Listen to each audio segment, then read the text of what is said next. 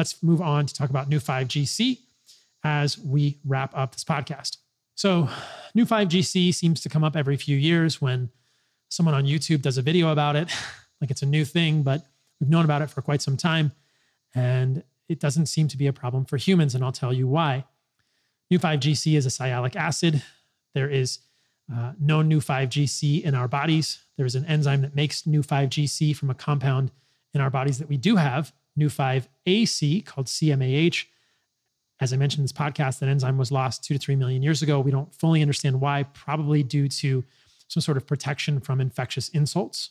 But Neu5Gc is very similar to Neu5Ac, different in one atom. And the hypothesis goes that because we don't have Neu5Gc in our bodies, when we eat Neu5Gc in the meat that we are eating, we develop antibodies to Neu5Gc, and that could lead to increased rates of colon cancer or other cancers in humans. Well, there's some pretty interesting research looking at high levels of anti Neu5Gc antibodies in patients receiving kidney transplants. I'm not sure how anyone can talk about Neu5Gc as a problem when they see papers like this one. No increase in colon cancer risk following induction with Neu5Gc bearing rabbit anti T cell IgG in recipients of kidney transplants. I'll break it down for you guys.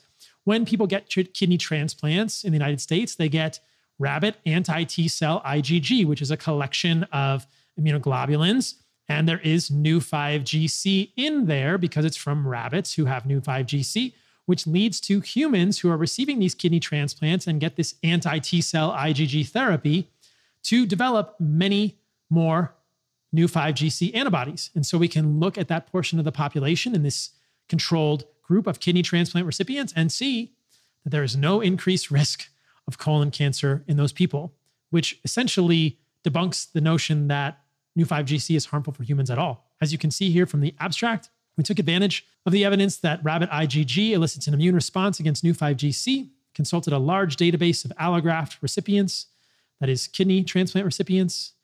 Um, based on this data from 173,960 and 38,505 patients without and with ATG induction, respectively, we found no evidence that exposure to higher levels of anti Neu5Gc is associated with a higher incidence of colon cancer.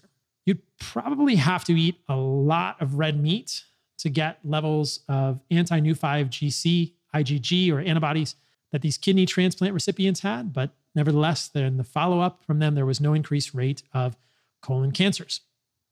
Furthermore, we can look to the animal kingdom, something that Western medicine um, doesn't do very often, but I find quite revealing. Ferrets are part of a family of animals called mustelids.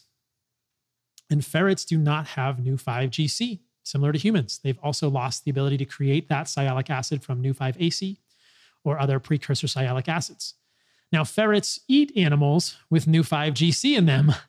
They eat voles and mice and rabbits, perhaps, animals with Neu5Gc. So here we have a model of an animal like humans without Neu5Gc eating animals with Neu5Gc. And according to the zoologists that I consult, uh, ferrets are not going extinct from cancers of any type due to this aberrant consumption of Neu5Gc in their prey. So there are numerous lines of evidence that point to the idea that Neu5Gc is not harmful for humans. If you don't know what Neu5Gc is, don't worry about it. If you've heard about it and you've heard people say it's harmful for humans, challenge them with that evidence and see what comes out in the mix. I don't think they'll have any answers for it. Why would something that has been at the center of the human diet for hundreds of thousands of years, and pre hominid evolution uh, was a critical factor in that as well, be harmful for humans.